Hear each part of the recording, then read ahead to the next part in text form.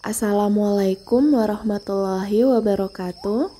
Hai sobat kebun teras Ana, semoga kita semua selalu berada dalam lindungan Allah Subhanahu wa taala. Sirsak adalah tanaman tropis yang terkenal dengan buahnya yang lezat dan memiliki sejumlah manfaat kesehatan. Tanaman ini dapat tumbuh dengan baik di Indonesia dan tergolong ke dalam tanaman tahunan. Tanaman sirsak tidak hanya sekedar tanaman biasa. Menurut penelitian, sirsak kaya akan kandungan antioksidan dan menjadikannya pilihan utama dalam perawatan kesehatan. Namun, keunggulan sirsak tidak hanya terbatas pada bidang kesehatan. Daun sirsak memiliki sifat-sifat yang dapat dimanfaatkan dalam pembuatan biopestisida atau pestisida nabati. Untuk yang baru berkunjung, jangan lupa menekan tombol subscribe. Terima kasih. Rahasia daun sirsak sebagai pestisida nabati karena mengandung bahan aktif anonain dan resin. Anonain merupakan senyawa golongan alkaloid yang terdapat pada daun dan biji sirsak. Aktivitas fisiologinya bersifat racun dan memiliki rasa yang pahit.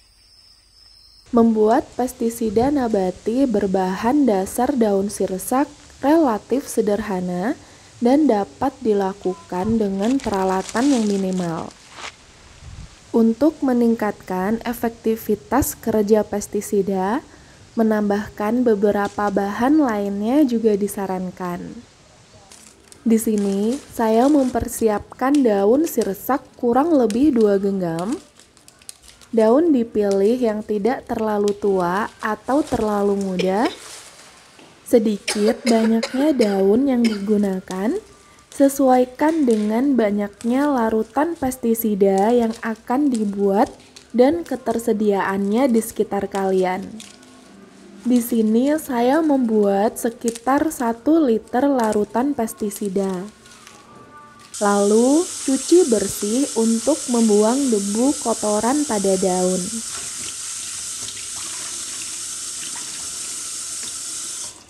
Berikutnya, Tambahkan satu ruas kunyit, dua siung bawang putih, dan satu liter air cucian beras. Kunyit banyak mengandung senyawa alami yang bisa bermanfaat sebagai insektisida. Ekstrak krimpang kunyit juga mencegah serangan kutu dan mencegah serangan ulat kubis. Senyawa flavonoid pada rimpang kunyit memiliki peran sebagai racun pernafasan. Senyawa bioaktif lain yang terdapat dalam ekstrak rimpang kunyit yang dapat mematikan larva yaitu tanin. Selain itu, kunyit mempunyai rasa dan bau khas dengan aroma menyengat yang bersifat mengusir atau tidak disukai oleh serangga. Kunyit juga menghasilkan senyawa metabolit sekunder dan dapat digunakan sebagai antimikroba dan fungisida alami. Selain mudah ditemukan dengan harga terjangkau, mencampurkan kunyit dalam larutan pestisida yang kita buat akan menambah kemampuan pestisida. Bawang putih dipilih karena senyawa alisin yang terkandung di dalamnya dapat berfungsi sebagai penolak kehadiran serangga. Senyawa alisin menunjukkan aktivitas antibakteri, anti jamur, antivirus, dan antiprotozoa. Bawang putih juga mampu mengobati penyakit tanaman, salah satunya antraknosa. Antraknosa merupakan penyakit yang disebabkan oleh cendawan fusarium pada tanaman cabai dengan gejala buah mengering dari buah yang muda sampai dengan yang sudah tua. Manfaat lainnya dari bawang putih adalah air rendaman bawang putih yang disiramkan ke tanah efektif mengontrol nematoda.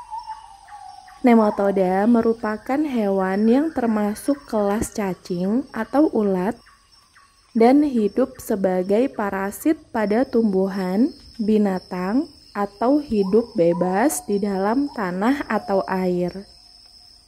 Alisin adalah mekanisme pertahanan diri bawang putih dari serangan hama.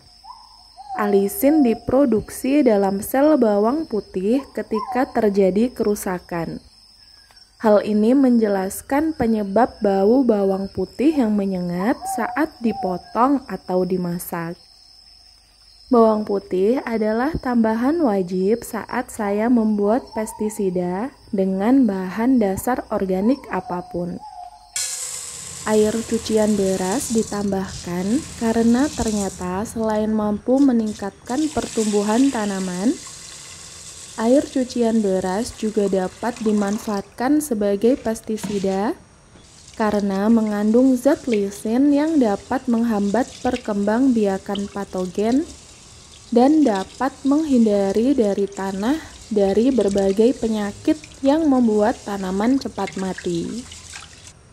Air cucian beras merupakan limbah rumah tangga yang mudah didapatkan dan tanpa biaya. Yang terbaik adalah menfermentasikan air cucian beras terlebih dahulu. Tetapi jika kita tidak sempat membuatnya, maka menggunakan air cucian beras yang masih baru juga tidak masalah. Langkah berikutnya adalah haluskan semua bahan, bisa menggunakan blender atau menumbuk bahan. Menghaluskan bahan pestisida akan meningkatkan kepekatan kandungan dibanding jika hanya dipotong kecil-kecil.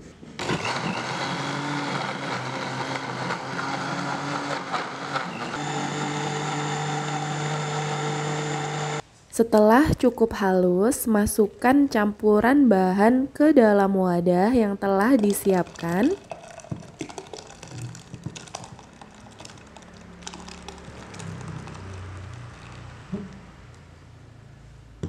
Tutup dan diamkan setidaknya 24 jam atau maksimal 2 hari.